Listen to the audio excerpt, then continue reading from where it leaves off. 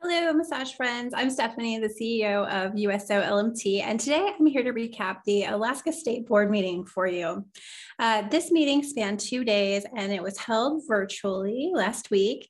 Um, and I hadn't attended an Alaska State Massage Therapy Board meeting before, so I found it really interesting and I wanted to tell you a lot all about it. So, the first thing that I noticed that when I tried to access the meeting from their website's posted agenda, the meeting link was invalid. Um, I had to call the state board to get the proper meeting link. And then um, I sent it to other therapists I knew in Alaska that wanted to attend their board meeting. Uh, Alaska has an open meeting policy. Uh, so I found it kind of odd that this link didn't work. Um, I do kind of wonder if this has ever happened before.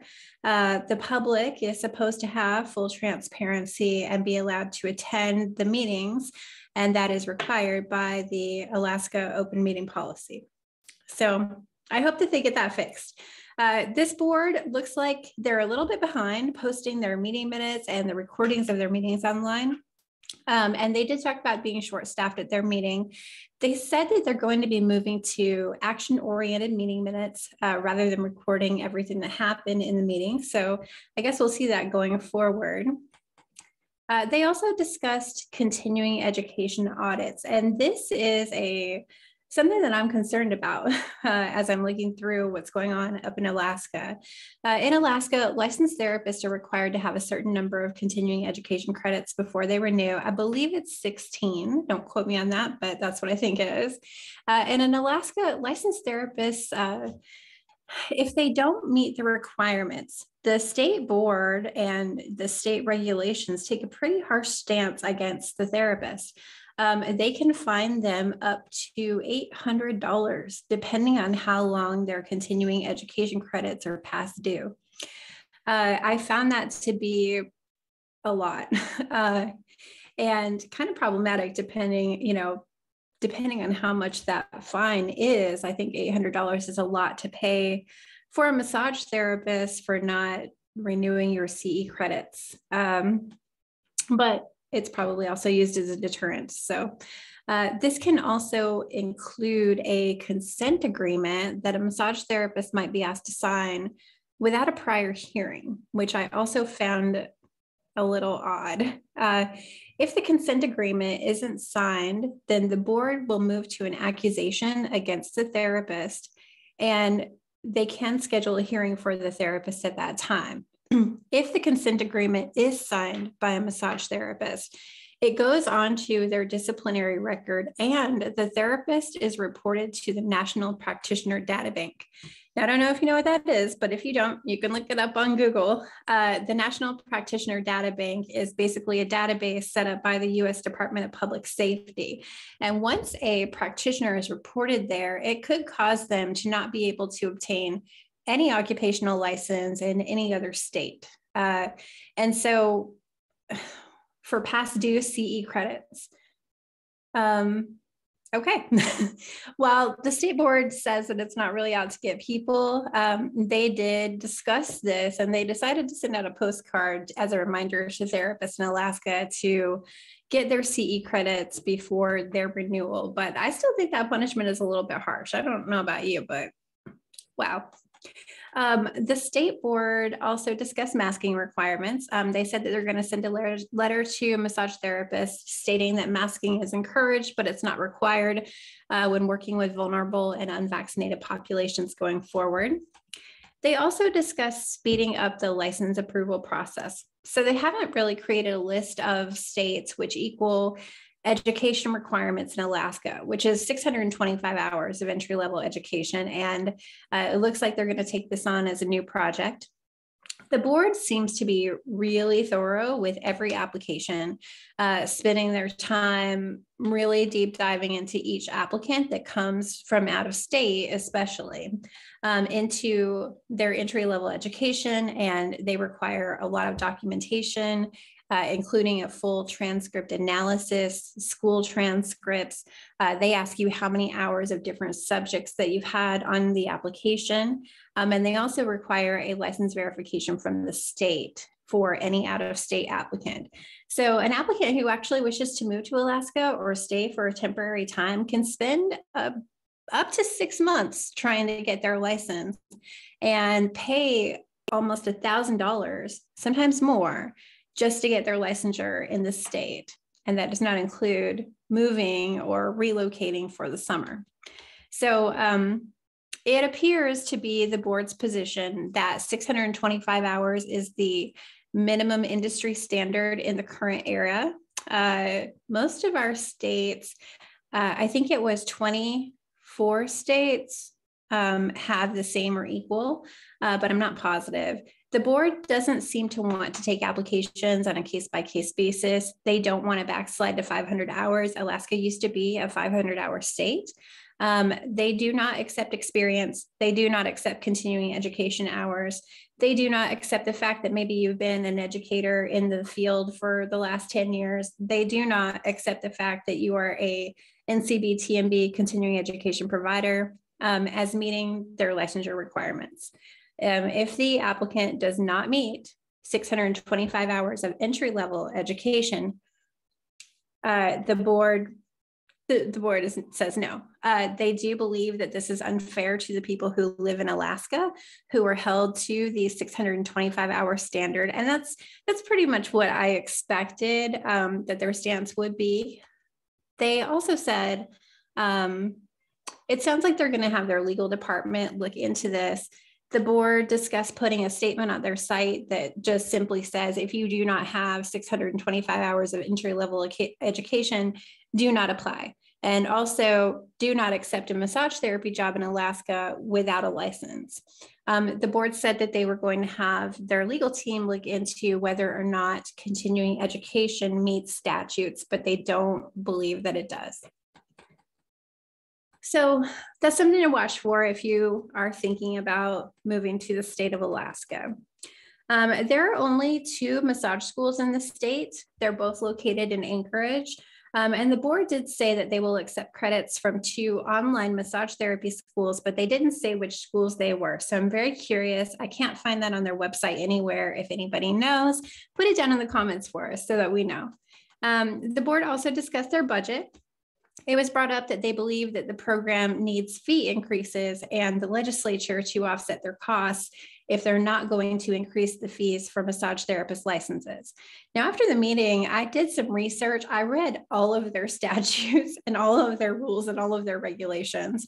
Um, and I found that it looks like some of the boards had been encouraged to um, grant a different type of license, like a courtesy license. So I'll talk about that a little bit later.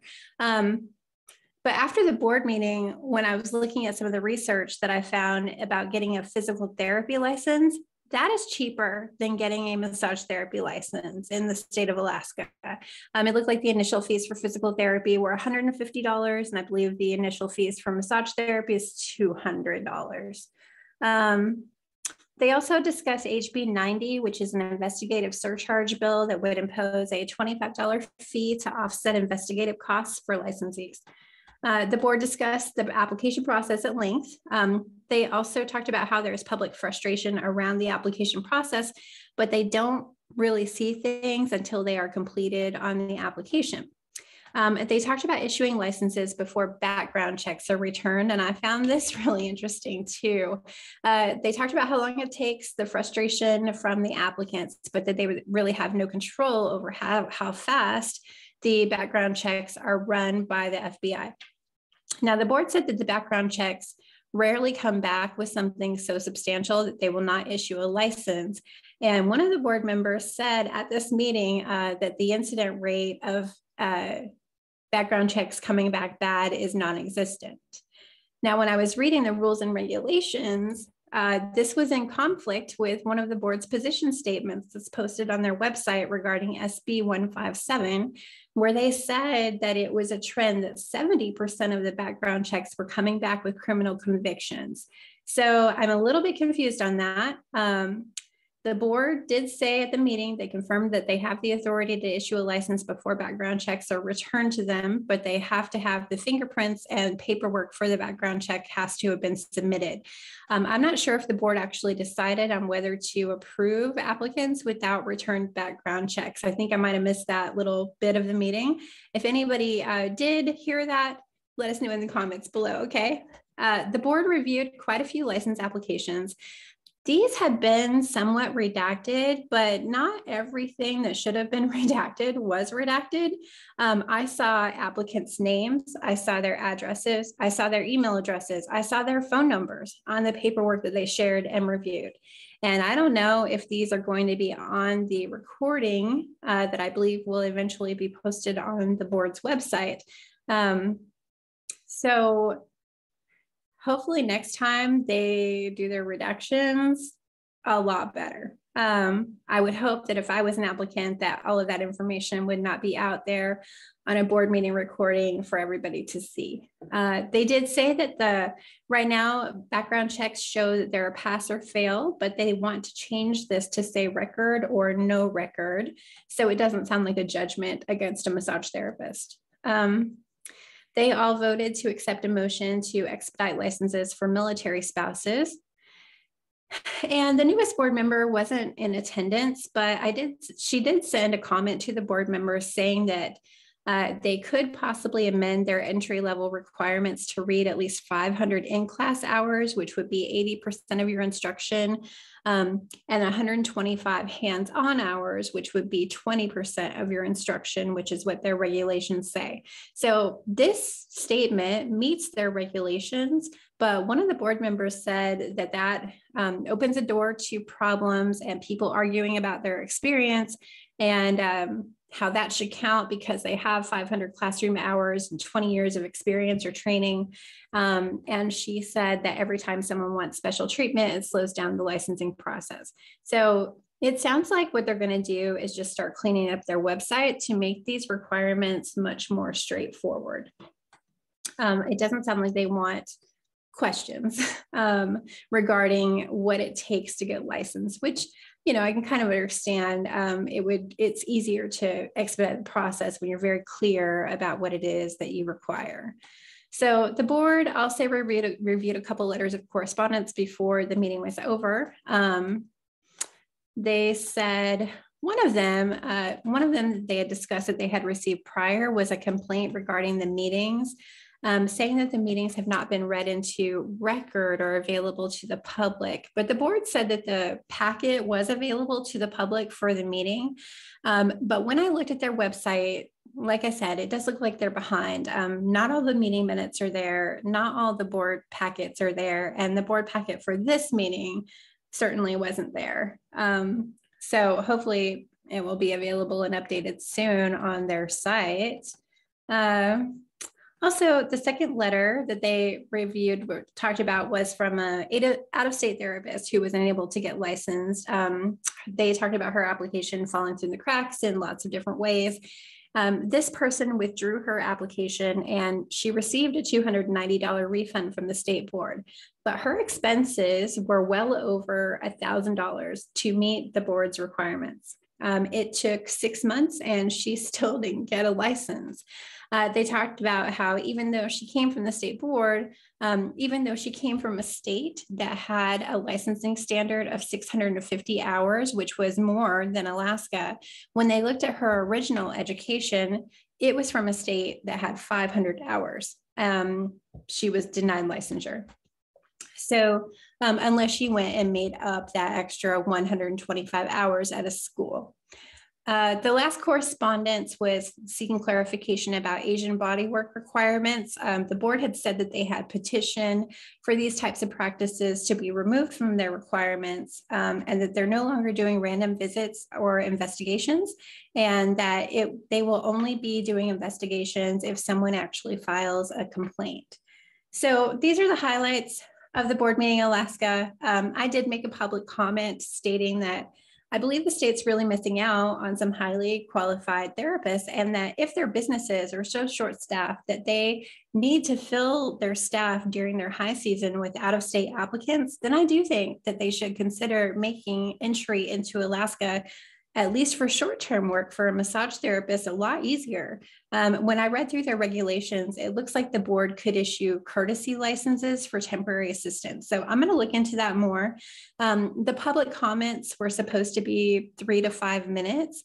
Uh, I think I was cut off at about two minutes. Um, so here is my actual full public comment that I wanted to read to the board. Members of the board, my name is Stephanie Rodriguez. I'm the founder and chief executive officer of USO LMT, the United States Organization of Licensed Massage Therapists. We are a new nonprofit organization registered in Arizona with a national membership base that offers direct advocacy to massage therapists. I'm happy I was able to attend today's meeting. I had to call the office to get the proper link to attend as the one with the meeting agenda did not work and said it was an invalid meeting ID when I tried to join. A month ago, it was brought to my attention that one of our members was having trouble getting her license in the state of Alaska.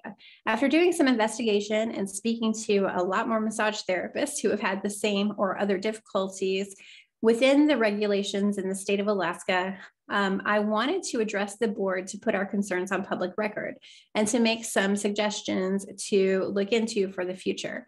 Um, I'm happy to hear your discussions this morning concerning some of these issues.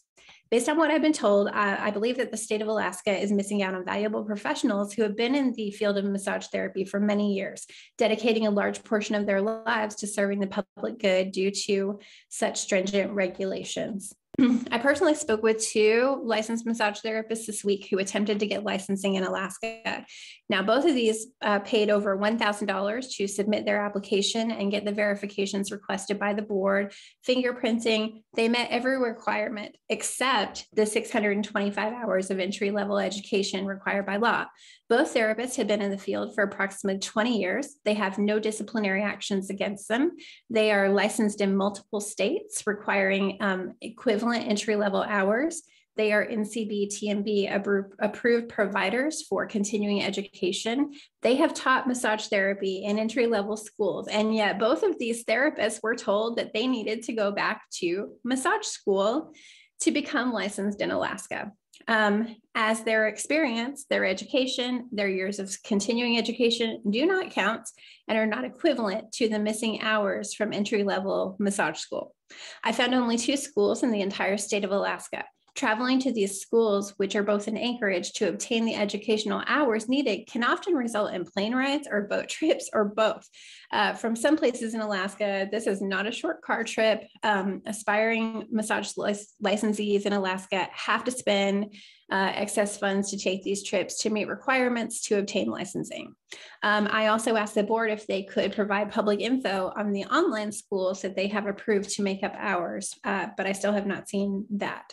Uh, many of the massage therapists I've spoken to about license issues in Alaska have applied so that they can work legally for just a few short months in the summer at a resort in the state. I would like to see these massage therapists have a shorter path to licensure with a reduction in fees and an option for a temporary work license. I urge the board to consider creating a portfolio review process where experience and continuing education count to, as a path towards licensure. Um, this has been successfully implemented in other states to support businesses that need massage therapists to fulfill seasonal quota. Um, for example, my state, Arizona, has reciprocity as an option, and that may be something to consider, um, as well as the option of adopting the federal massage therapy compact when it is complete, or even to look at a portfolio process such as uh, the one in the state of New York that allows um, a therapist experience to be counted when they go to apply for their New York license. Um, I respectfully ask that the board consider implementing one of these processes and to reconsider support for laws and regulations that make it very difficult and impossible in some cases to move to and obtain a massage therapy license in Alaska, even for short term temporary work. Um, consider that massage therapists in the state support the well-being of those in your largest commercial industries like oil and fishing and tourism, and that the legitimate service of massage therapy is an asset to the Alaskan economy. We're concerned about the direct impact um, occurring on active businesses in the state, and uh, the those business needs may not be being met due to a solvable legislative issue. So if your businesses need more massage therapists to work during your high season than the state has supplied, then it may be prudent to make this option easier. The state of Alaska is missing out on too many opportunities for dedicated, hardworking, experienced massage professionals who want to work there. We ask for your consideration of this matter and your assistance in getting these experienced professionals to work, supporting your local businesses and those citizens who directly support your local economy. Um, I think that we should keep a watch on what's going on in the state of Alaska. It's possible that some regulations may need to change there. And I'm also curious what is happening with their board members. Um, it looks like the chair's term expired in March 22, but she's still there. Um, and I'm not sure how or why that is happening, considering that the law in Alaska does not allow that. Um, I don't know if she was able to get some sort of exception from the governor's office or what happened there, um, but I thought that was strange. Um, I also noticed some key differences, for example, um, in how this how the meetings are run.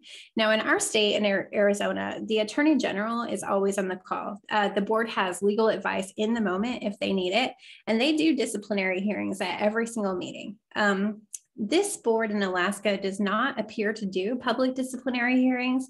Um, and if they do, I have not seen those. Um, if anybody knows where those are, put it in the comments for me.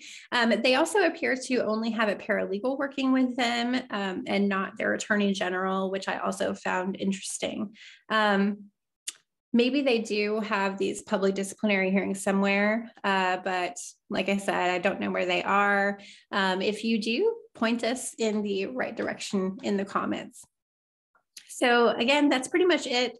Um, wanted to give you guys the update, uh, what's going on up there. And, you know, I think this is something that we will keep an eye on. Um, a few things that I thought were kind of strange. I definitely want to work on and find out more about.